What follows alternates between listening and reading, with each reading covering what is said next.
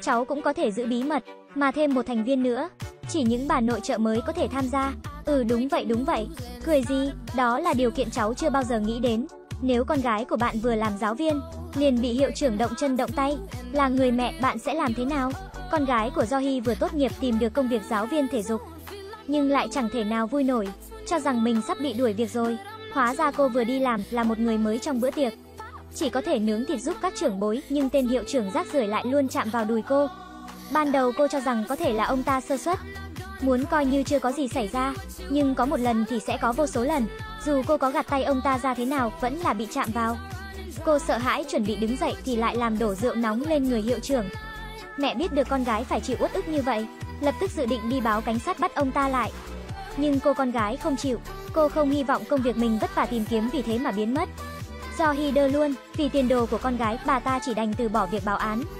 Đột nhiên nhớ đến biệt đội báo thù của mình, bảo con gái giao chuyện này cho mẹ giải quyết, nhanh chóng tập hợp hai chị em thân thiết lại.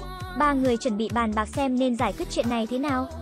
Vì không có chứng cứ nên không thể báo cảnh sát, mà hiệu trưởng lại là bạn tốt của chồng Dung He với Mi Súc. Đối phương cũng không phải người dễ đối phó. Dung He đột nhiên nảy số, muốn do Hy ngài bẫy để thu thập chứng cứ. Kế hoạch đầu tiên là dùng sắc đẹp mê hoặc, nhưng khuôn mặt của Do Hy sao câu dẫn được ông ta. Dung He lại nghĩ ra cách khác, bí mật thiến hóa học ông ta. Dao không phải là ai cũng dùng được, không được để người khác bị thương. Một số người cho rằng nó không phù hợp, chỉ đành về nhà nghĩ cách khác. Hôm sau Mi xúc từ chỗ của chồng biết được, đột nhiên hiệu trưởng muốn tổ chức cuộc họp phụ huynh. Ba người nắm bắt cơ hội này muốn ông ta bẽ mặt trước mọi người. Muốn cho thuốc vào trong nước của hiệu trưởng. Dung He phụ trách trông cửa để Mi xúc hành động, nhưng hai người chưa từng làm chuyện xấu lại chính vào lúc quan trọng. Không mở được nắp lọ thuốc, Dung He thấy hiệu trưởng muốn đi vào chỉ đành chặn lại. Mỗi khi gặp anh cảm thấy anh vẫn vậy nhỉ, làm gì có, tôi cũng già rồi, ôi đây không phải vợ của giáo sư Bích sao? Cứ như vậy kế hoạch trả thù của họ thất bại. Do hi bất lực định tố cáo việc xấu của ông ta trong buổi hoạt động. Nhưng lúc sắp nói lại nhìn thấy con gái ở bên ngoài ra sức cầu xin. Do hi chỉ đành vì con mà nhẫn nhịn chuyện này.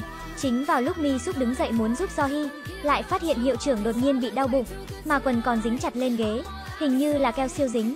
Mau nghĩ cách đi, mọi người đến giúp với. Hiệu trưởng, hay ngài tụt quần xuống đi. Cái gì mà tụt quần? Hiệu trưởng bất lương cứ như vậy mất hết mặt mũi trước mặt phụ huynh. Ba người đang khó hiểu tại sao mình còn chưa làm gì mà đã báo thù thành công rồi. Hóa ra là con của chồng Dung He làm ra mọi chuyện. Để tham gia vào liên minh của mẹ kế, cậu ở trên xe biết được kế hoạch báo thù của họ. Từ trước lúc họ động tay đã bỏ thuốc rồi xịt keo siêu dính.